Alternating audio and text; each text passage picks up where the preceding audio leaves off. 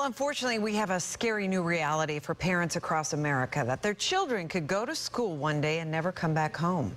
Manatee County school officials want to make sure they are prepared in the case of an active shooter. So today they did some hands-on training. And News Channel 8's John Rogers is in Bradenton with more. Good evening. Today, more than 200 Manatee County principals and administrators came to Bayshore High School to see what it was like to be a student during a school shooting. And they say their eyes were opened. Oh my God!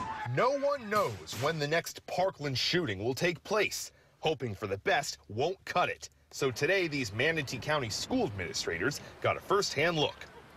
I think it was as real as you can possibly get without being real. Blanks were being fired and controlled explosions went off, sending school officials running down the halls and barricading themselves in classrooms. Law enforcement officials say an active shooter could kill an average of 10 people a minute. Even though we know it's a drill, I mean, your adrenaline is, your adrenaline is going, and um, it's um, it, it was not something I ever want our kids to have to go through. Across the Bay Area, these scenarios are increasingly being held. Manatee County school officials go through classes every few months, but this really puts them to the test. You know, when you hear that gunshot, you know, it, it, it's it's hard to read a policy or a standard operating procedure and know how you're going to react.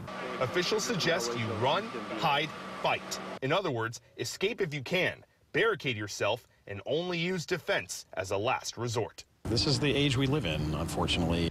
Officials stress that's important that these school officials maintain good relationships with their students because they're the ones on the front lines who will know whether someone's exhibiting some dangerous behaviors.